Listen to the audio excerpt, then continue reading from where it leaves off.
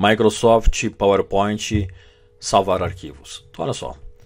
Uh, depois do arquivo feito aqui, mais ou menos feito, né? A gente está aprendendo ainda. nós vamos salvar o arquivo. Menu Arquivo, Salvar. Como esse arquivo já tem um nome chamado apresentação 1.pptx, ele não vai, não vai salvar, não vai pedir nome. Então eu vou, vou mandar salvar como.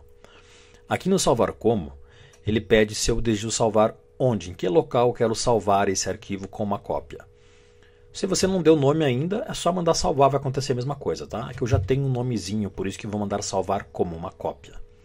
Então tem a opção do OneDrive. O OneDrive é o antigo SkyDrive. É como se fosse o Google Drive da Google, tá? É um HD virtual para você se conectar ao OneDrive. Ó, use o OneDrive para acessar seus arquivos de qualquer lugar e compartilhe com quem você quiser. É nuvem.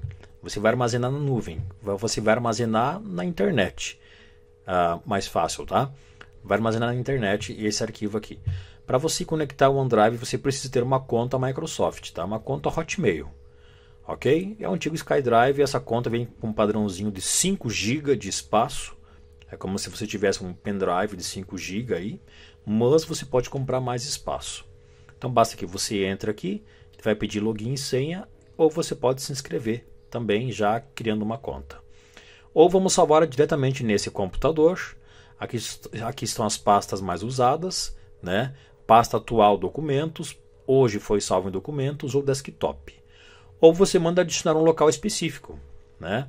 Por exemplo, eu quero salvar no Office 365, que é o Office virtual da Microsoft, ou no OneDrive, ou ainda você manda procurar, que é mais utilizado. Então, se você tiver um pendrive aqui, então você vai, vai achar aqui o pendrive, ou na pasta documentos, na pasta downloads, na pasta músicas, ou na pasta desktop, que é desktop, que é a nossa área de trabalho aqui do nosso programa, tá? Então eu vou, eu vou, eu vou salvar aonde? Eu vou salvar, eu vou salvar aqui. Então eu vou salvar aqui do nosso programa, ok? Então eu vou salvar aqui, uh, procurar.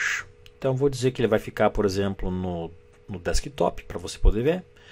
E aqui nós temos o formato de arquivo, tá? PPTX é, é, é o arquivo nativo, é, digamos assim, é o projeto, ok? PPTX é o projeto. Qual que é a diferença? Bom, qual que é a diferença? Se você, quando você salva em PPTX, você vai precisar ter o PowerPoint na máquina para você abrir o arquivo, porque é o arquivo nativo, é o projeto, digamos assim. Aí nós temos outros formatos, né? Nós temos, por exemplo, o PPT, que é o, até o PowerPoint 2003 era PPT, esse X ele veio a partir das versões novas, né? Tipo, PowerPoint é PPT-X, o Word é DocX, o Excel é XLS-X. Então, se você quer que esse arquivo abra numa versão antiga, você precisa salvar ele em PPT. Mas, por exemplo, eu quero salvar como arquivo de apresentação. Então, nós temos aqui, ó, apresentação de slides até 2003, que era PPS, ou aqui a apresentação de slides do PowerPoint, PPSX. Qual é a diferença? O PPS ele vai salvar no formato de apresentação, ou seja, ele não vai uh, entrar no, no PowerPoint para abrir o arquivo, é apenas apresentar. Já o PPTX, o PPTX, sim, ele precisa entrar no PowerPoint. Ok? Então esta é a diferença. Aí, claro, tem outros formatos, já pode salvar, por exemplo, em formato de vídeo, WMV, MP4, mas isso mais para frente eu vou mostrar a você como exportar nesses formatos aqui. Então aqui geralmente os formatos utilizados é formato de arquivo original, que é o projeto, ou formato de apresentação. Então basta que você escolha, escolha você dê um nomezinho aqui para ele, apresentação exemplo. OK? E manda salvar. Pronto, vou fechar aqui.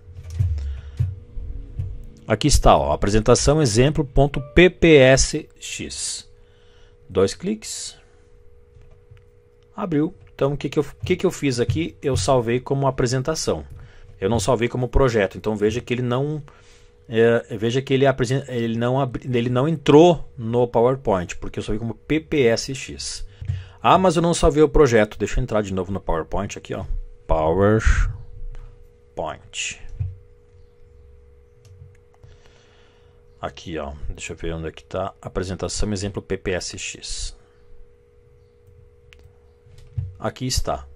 Então aqui está o PPSX. Eu quero salvar então menu arquivo, salvar como, aqui na pasta procurar no desktop. E eu vou salvar então como apresentação, PowerPoint. Salvar. Aí agora eu tenho também o arquivo. Tá? Então eu tenho a apresentação e tenho o arquivo. É que eu já tinha ele salvo, tá? Por isso que eu consegui abrir de novo. Então é importante que você cuide disso aí. Então essa é a diferença. É apenas essa a diferença. Quando você clica aqui, o que, que ele faz? Ele entra no PowerPoint para você poder ver a estrutura de slides. E o de apresentação, o PPS, não. Ele apenas começa a rodar diretamente a apresentação sem precisar entrar no PowerPoint, ok? Então essa é a diferença. Pratique, vejo você no nosso próximo tutorial.